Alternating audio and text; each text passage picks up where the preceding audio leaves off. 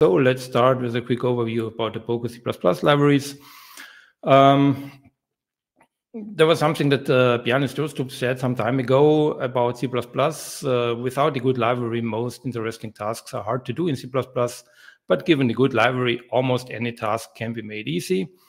Um, and um, yeah, obviously, especially in the beginning of C++, um, C++ lacked uh, for a large part the good library part. Um, of course, at one point, uh, the STL came along, uh, which have helped a great bit.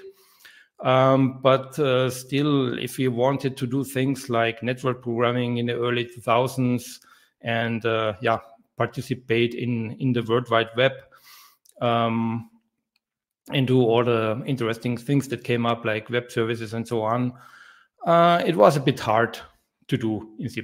We had to do a lot of low-level things. Uh, actually, a couple of years ago, I uh, spent some time in the United States uh, and also uh, visited the Napa Valley. And on the way in the car, I found this nice road sign, uh, the Poco Way. Um, and yeah, there are certain things that we do in Poco which might not be the same as in some other libraries. Uh, yeah, we do it in the Poco way. Um, the whole thing has cannot even believe it myself, been around for 20 years now. Um, we have now in the Poco C++ libraries around 350,000 lines of C++ code, plus uh, a couple of thousand lines uh, C code that we use from uh, other uh, dependencies like uh, Expat, XML parser, and some other stuff. We have we have 1,200 classes, and uh, we will soon have uh, 8,300 uh, stars actually on GitHub, uh, which is quite nice. also, we have over the 20 years gotten around 200 people who have contributed code to the Poco C++ libraries, which is also very nice. So how came it to be? Well, basically, it uh, started uh, around, uh, or not around, it started in 2004. Uh, I had been doing a couple of years' work in the semiconductor manufacturing uh, industry, mostly doing C++ programming. And uh, as it was back then, we had to do a lot of low level and also programming and also implementing our own libraries because not much uh, was available back then. And also we had to do like stuff on a number of different platforms. Uh, there was, of course, uh, Windows. There were different uh, Unix platforms like uh, Solaris, HP-UX, uh, Linux also, of course, and obscure things like OpenVMS. Um, so I, yeah, kind of became an expert in programming C++ code that runs on many different platforms. And so I had this idea, hmm, I could write a book about that. And uh, yeah, next thing I did in the summer or in the spring of 2004 is uh, I wrote a book proposal, contacted uh, some uh, publishers, and uh, one of the very big publishers actually got interested in my proposal and uh, agreed to do my book. So in the summer of 2004, um, started working on my book and wrote a couple of chapters. And then sometime, I think it was end of August or something like that, I got a yeah, very sad email. Unfortunately, the publisher said, we have decided that we can no longer publish your book um, because, yeah, obviously 2004 um, was not the best time for C++. As you probably all know, it was a time when uh, languages like Java and .NET were very popular, and uh, yeah, also the Java people tended to say not very nice things about C++. And uh, yeah, that was uh, when I was uh, sitting there and thinking what to do next. And uh, yeah, actually for the book, I had came up with uh, some yeah patterns and some ideas for how to write cross-platform C++ code. And so what I did was uh, started to put together a class library. And um, yeah, pretty much uh, 20 years ago, that was when I started to work on the Poco libraries.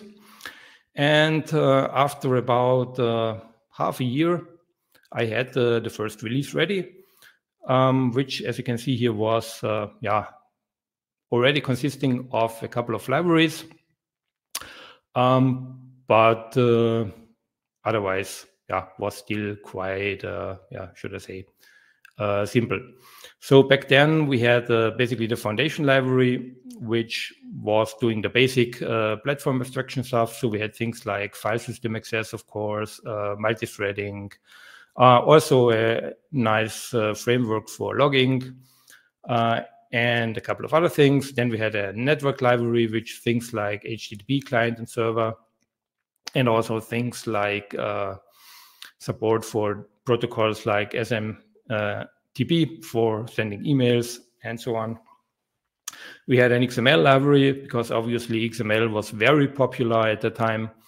Um, then we had a, a, general util library, which basically contains a simple framework for building command line applications and also server applications that had things like uh, parsing of command line arguments and also handling of different uh, configuration file formats and then we had a, a simple library called dblite, which was a very thin wrapper of uh, over uh, SQLite, uh, which was also uh, becoming popular back then.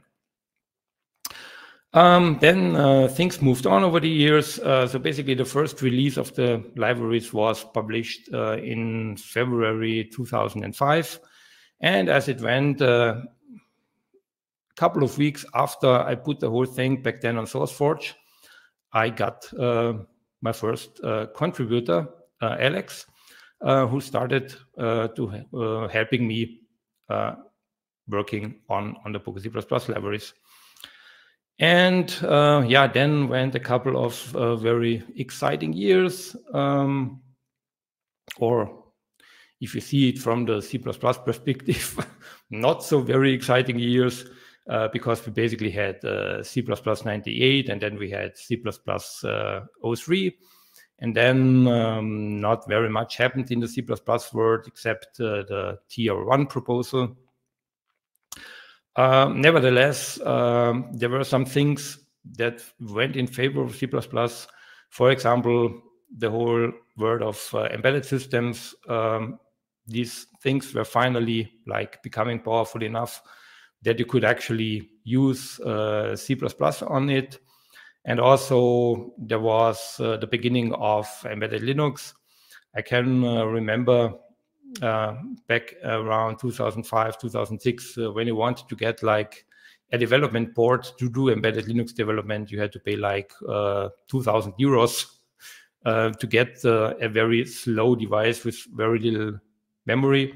Of course, everyone knows nowadays we have Raspberry Pi with eight gigabytes of memory and very fast CPUs, uh, so no comparison. But uh, basically, um, that was when when kind of the whole IoT thing uh, also slowly uh, came to be. Um, nowadays, if you look at uh, a picture of the Poco C++ libraries, uh, you can see it has grown quite a bit. we've added quite a number of libraries uh, most notably, of course, a JSON library because like JSON has in most fields, uh, yeah, replaced uh, XML as uh, yeah the format for configuration files and other data. Then uh, we have the data library, which basically is an abstraction layer for different SQL-based databases um, then we have also clients for other databases, databases like Redis, uh, or uh, as it's now called, uh, or, or forked into Valkey. Uh, also MongoDB. Uh, we have a library called Active Record, which basically gives you the active record pattern, uh, which is a nice little yeah abstraction layer above the data library for usual standard uh, database access so you don't have to yeah write a SQL query for for every single thing uh, you do, especially for pretty standard queries. Um, then we also have things like uh, yeah crypto support based on OpenSSL. Uh, we have TLS support for all the classes. We have JSON Web Tokens. Uh, we have uh, since a couple of months a Prometheus um, library, so you can also export metrics that can then be uh, imported in Prometheus uh, or other monitoring tools, and you can then build nice dashboards out of it. And uh, so as you can see from, from that whole picture, the direction where Poco goes is more like make Poco a, a good uh, library for building uh, modern cloud-based and internet-based uh, uh, applications.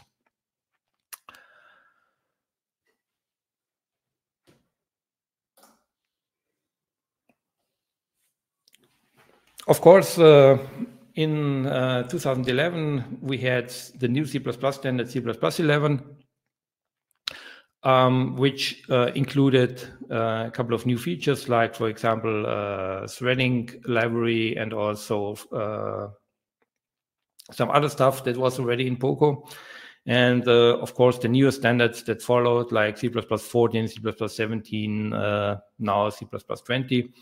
Um, so what's our yeah relationship to that? Um, basically, we try to uh, follow um, and use new C++ features as they can along. However, as a library that is used by a lot of uh, people, for example, in embedded systems development, uh, we cannot always be like at the top of C++ because um, yeah, people are often stuck with older compilers um, and so we tend to, yeah, be always a couple of versions behind the current C++ version. So right now for Poco development, we are basically on C++ 17, uh, but we expect to go to C++ uh, 20, not too far in the future. Uh, of course, that has also brought a number of uh, interesting uh, challenges for us uh, because, as I mentioned, the new C++ standards um, kind of have the same features or some of the same features that we have in Poco in the standard library. One example would be threading. Another example would be, for example, file system access with C++ 17 and uh, also some other things. And uh, of course, uh, we have to think about that. And of course, the first idea we had was, yeah, uh, we cannot completely get rid of, for example, the Poco thread class because there is a lot of existing code out there that uses that, and we cannot simply expect from, yeah, our users to rewrite rewrite their applications uh, uh, with the Poco thread class. Uh, or replacing the Poco thread class with uh, STD thread or STD thread class. And also, there were a number of other aspects uh, that prevent us uh, from doing that because one of the ideas we had was, uh, yeah, let's keep the Poco thread class, but implement it in terms of uh, STD thread. Uh, problem is, um, STD thread uh, cannot do some of the things that uh, thread can do. example for that would be, for example, in an embedded application, it's sometimes necessary to set the, the stack size, the maximum stack size of a thread. And you cannot do this with standard C++.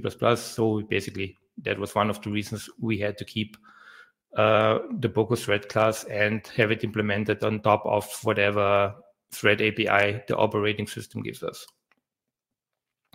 Another example would be uh, the, the, smart pointers, specifically uh, shared pointer. So as you all know, uh, C++ now has a shared pointer class Poco also has a shared pointer class. Um, and the idea was to simply implement the Poco shared pointer class with uh, the STD shared pointer class as the underlying uh, implementation. Uh, and so the, we did a prototype, prototype of that. And then people started complaining because suddenly their code was a lot slower.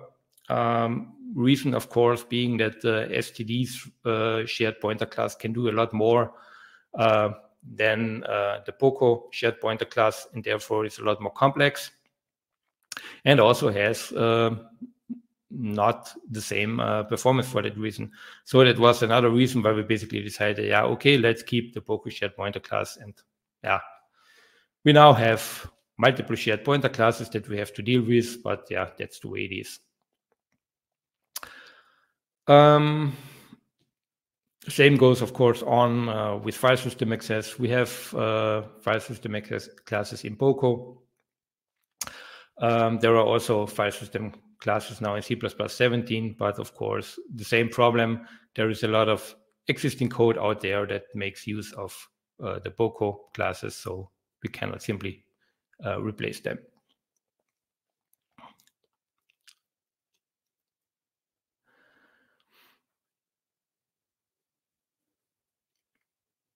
Another fun story that we uh, uh can tell as uh, the Poco communities.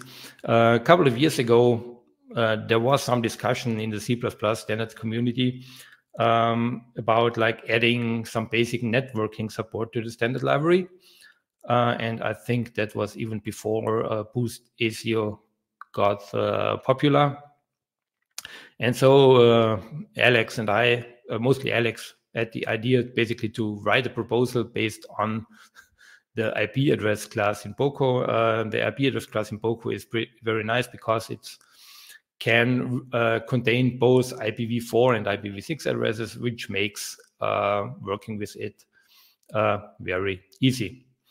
Of course, uh, once we submitted that to the standard committee, we got like uh, very bad responses because people were screaming at us, we cannot use your implementation of an IP address because our application has to keep millions of IP addresses in memory, and your uh, proposal uses way too much resources to do that. And uh, yeah, that uh, basically ended then our involvement in the C++ uh, standards community. And uh, yeah, we decided to keep doing things our way. And uh, yeah, I think in the meantime, in C++, we at least have do we actually do we have a URI class or just a proposal? I actually don't really know.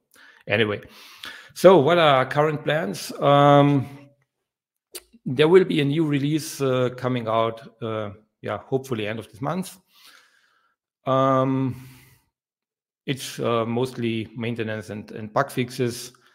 Uh, a big amount of work um, that we now have to do uh, is like uh, updating uh, or keeping our external dependencies uh, up to date uh, because people keep finding security issues in C libraries or in the C libraries that we use. So we have to basically constantly have a look at them and uh, yeah, incorporate the bug fixes. And then uh, one other nice feature that Alex has been working on is uh, stack trace support. So you will now have a compile time option to enable uh, the exceptions that uh, the, the Poco exception class basically uh, to contain uh, stack traces, which will make debugging things at runtime hopefully a lot easier. As I mentioned, the whole thing will be basically a compile time option. So if you don't want to have that overhead, you can simply leave it out, which is actually the default. So if you want that, you actually have to enable it. And then hopefully for later this year or early next year, uh, finally some HTTP2 support uh, for the network library, uh, which is something that has been widely requested. And also finally, hopefully some YAML support uh, so that you can basically use the YAML files with the Poco configuration uh, framework. And there will be a couple of other things like uh, yeah, JSON log formatter. Uh, and uh, this is basically uh, intended for people writing, yeah, server applications in C++ that they want to integrate with all the different, uh, yeah, um, DevOps and and and uh, monitoring frameworks out there. And finally, another thing that I'm again working on is a book. So after 20 years, there shall be sometime in the future a book that, uh, yeah, gives you some background information and some more code examples how to use the Poco libraries. Okay, um, so that much for now for the Poco libraries. Uh, let's now move on to the next big thing. um, called macchina.io.